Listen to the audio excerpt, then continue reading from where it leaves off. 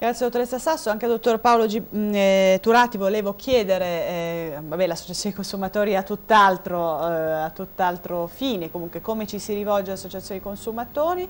E appunto... Anche lì è nata una rete di sportelli, non proprio regionali, sì. per cui eh, le associazioni di eccellenza eh, singolarmente rappresentano un terminale di questo sportello, quindi è un qualcosa di simile a questa sistemazione, qui abbiamo una centralizzazione e là abbiamo le varie associazioni invece che fungono a loro volta e sono finanziate un po' come da, da, da, da, questo sistema. Sì. Direi che eh, il volontariato in questo caso rappresenta una eccellenza eh, tutta da sfruttare anche da un punto di vista meramente economico, perché consideriamo che al giorno d'oggi... Io devo andare in pubblicità, deve essere breve. Deve eh, essere breve. al giorno d'oggi l'economia l'economia moderna eh, cosa ha come valore implicito? Il, il, il tempo libero, no? il massimo. Certo. Ecco, se il tempo libero viene utilizzato nel volontariato, ecco che utilizziamo l'utile dilettevole, cioè il risparmio di tempo per far risparmiare il pubblico. Bene.